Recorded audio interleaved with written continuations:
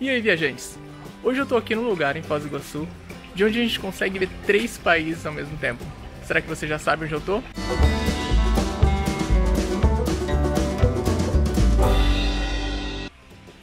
Se você falou Marco das Três Fronteiras, acertou. Pois hoje eu vou mostrar para vocês um pouco aqui do complexo turístico Marco das Três Fronteiras. Vamos comigo?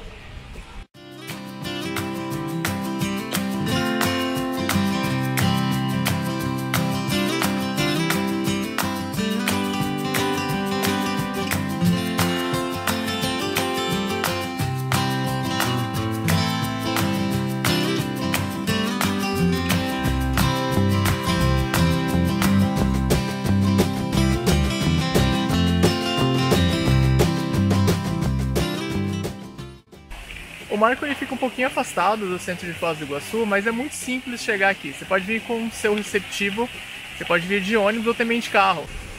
A arquitetura aqui do Marco das Seis Fronteiras é muito interessante, porque é uma espécie de uma vila cenográfica das missões jesuíticas que remonta os locais onde viviam os índios e os padres jesuítas do século XVI e XVII.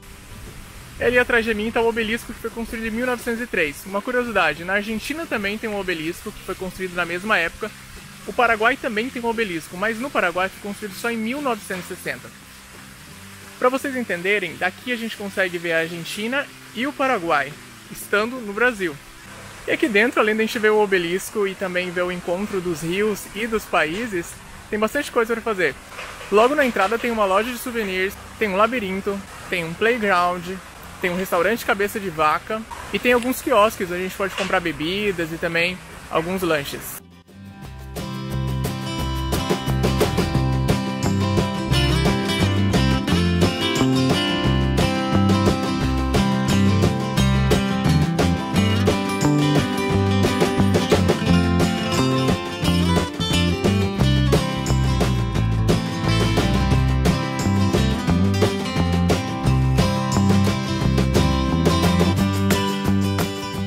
Daqui a gente vai conseguir ver o Rio Iguaçu e o Rio Paraná.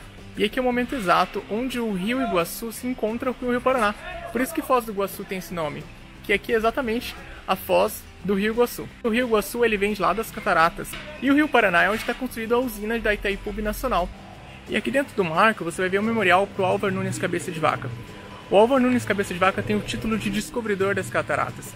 Porque em 1542, quando ele estava vindo a pé de Santa Catarina em direção à Assunção, ele passou por aqui, aí ele viu o encontro dos dois rios e ele também foi o primeiro europeu a ver as cataratas.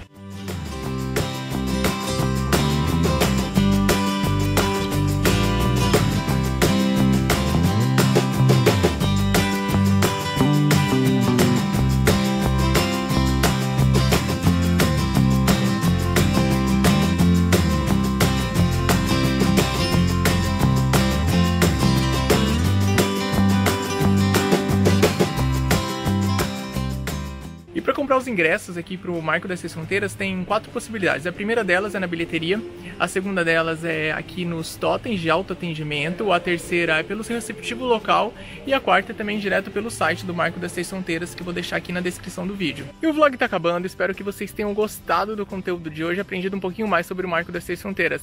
Valeu, gente, e até a próxima!